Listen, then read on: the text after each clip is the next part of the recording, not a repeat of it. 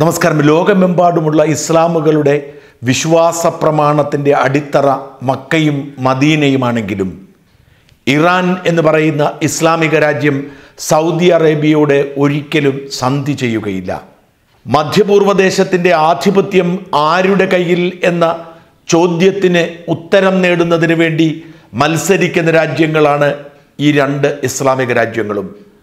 പാശ്ചാത്യ ലോകം ഒരുമിച്ച് യു എ ഇ അടക്കമുള്ള പ്രമുഖ ഇസ്ലാമിക രാജ്യങ്ങളുടെ പിന്തുണയുള്ള സൗദി ഗ്രൂപ്പിൽ അടിയുറച്ചു നിൽക്കുമ്പോൾ ഒറ്റയ്ക്ക് പോരാടുകയാണ് ഇറാൻ. ഇറാനെ ശ്വാസം മുട്ടിക്കുക എന്നത് എക്കാലത്തും പാശ്ചാത്യ രാജ്യങ്ങളുടെ അജണ്ടയുടെ ഭാഗമായിരുന്നു. ട്രംപ് അധികാരത്തിൽ എത്തിയപ്പോൾ ഇറാന്റെ മേൽ കൊടുക്കാവുന്നതിന്റെ പരമാവധി സമ്മർദ്ദം കൊടുത്തുകൊണ്ടിരുന്നു. അതേസമയം ഒബാമയടക്കമുള്ള ഭരണകൂടങ്ങൾ ഇറാനുമായി പരമാവധി സഹകരിച്ച് ലോകത്തിന്റെ സമാധാനം നിലനിർത്താനാണ് ശ്രമിച്ചത്. അങ്ങനെയാണ് ഒബാമയുടെ കാലത്ത് ഇറാനുമായി ആണവ കരാർ ഉണ്ടാവുന്നത്. ആ ആണവ കരാർ ഏകപക്ഷീയമായി ലംഘിച്ച് റദ്ദു ചെയ്ത് ഇറാനെ ശത്രുപക്ഷത്തേക്ക് ഉയർത്തി നിർത്തി ലോകത്തെ ആശങ്കയുടെ മുൾമുനയിൽ നിർത്താൻ ട്രംപ് ധൃതി കാട്ടി. ഇറാനെ ഒറ്റപ്പെടുത്തുന്നതിനുള്ള ഏതു നീക്കത്തെയും സൗദി അറേബ്യ പിന്തുണയ്ക്കുന്നു എന്നതായിരുന്നു ട്രംപിന്റെ നീക്കത്തിന്റെ കാതൽ.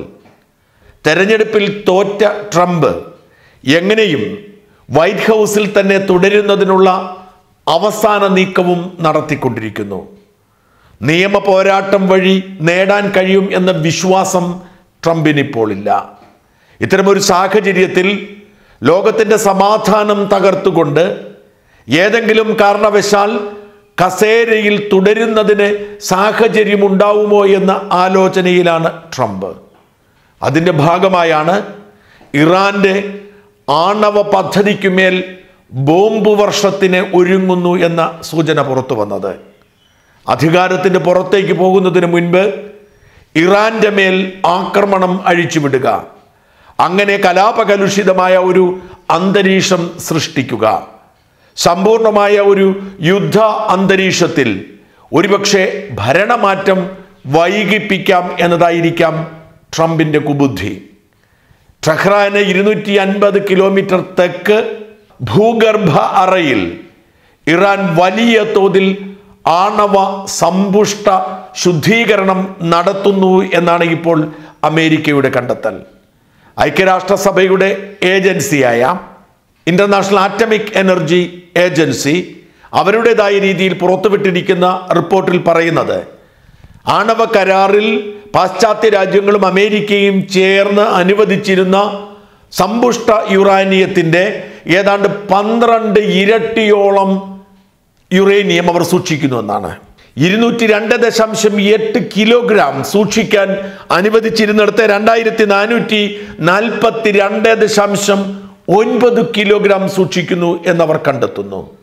അവർ തന്നെയാണ് പറയുന്നത് ഇറാൻ വലിയ തോതിൽ യുറേനിയം ശുദ്ധീകരണ പ്രക്രിയയിൽ ഏർപ്പെട്ടുകൊണ്ടിരിക്കുന്നു. വലിയ അണുബോംബുകൾ സൃഷ്ടിക്കുന്നതിനുള്ള ശേഷി അവർ നേടിയെടുത്തിരിക്കുന്നു എന്ന്. ഇറാൻ അതേക്കുറിച്ച് യാതൊരു അഭിപ്രായവും പറഞ്ഞിട്ടില്ല. എന്നാൽ ഇറാന്റെ നിലപാട്. ഇപ്പോൾ അങ്ങനെ ഒരു കരാർ നിലവിലില്ല.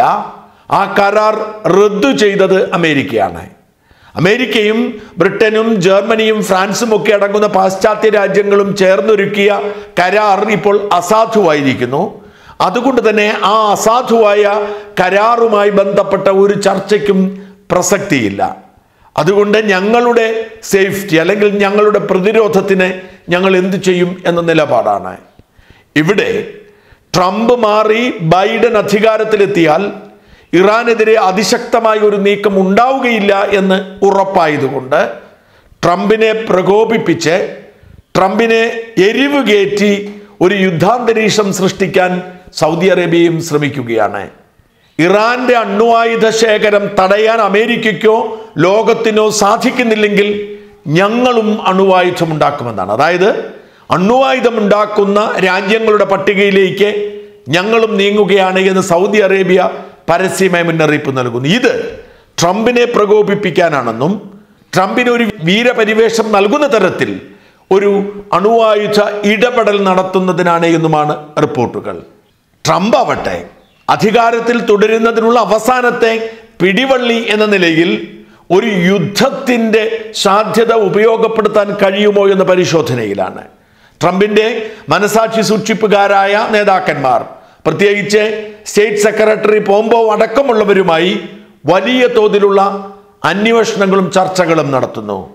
ഇസ്രയേലുമായി ചേർന്നുകൊണ്ടുള്ള ഒരു ആക്രമണം അല്ലെങ്കിൽ നേരിട്ടുള്ള ഒരു മിസൈൽ ആക്രമണം അതൊന്നുമല്ലെങ്കിൽ ഇറാന്റെ ഈ സമ്പുഷ്ട യുറേനിയം ശുദ്ധീകരണ പ്രക്രിയയെ അവസാനിപ്പിക്കുന്ന തരത്തിലുള്ള സൈബർ ആക്രമണം. ഇത്തരത്തിലുള്ള ആലോചനകളെല്ലാം ട്രംപെ കഴിഞ്ഞ കുറേ ദിവസങ്ങളായി. ട്രംപ് ഗുരുതരമായി തന്നെ ഇറാനെ ആക്രമിക്കുന്നതിനെ കുറിച്ചുള്ള ചർച്ചകളിലാണ്. ഏതെങ്കിലും തരത്തിൽ ഇറാന്റെ സുരക്ഷയെ ബാധിക്കുന്ന എന്തു നടപടി അമേരിക്കയുടെ ഭാഗത്തു നിന്നുണ്ടായാലും അപ്രതീക്ഷിതമായി തിരിച്ചടിക്ക് ഒരുങ്ങിക്കോളൂ എന്ന് ഇറാനും പ്രഖ്യാപിച്ചു കഴിഞ്ഞു.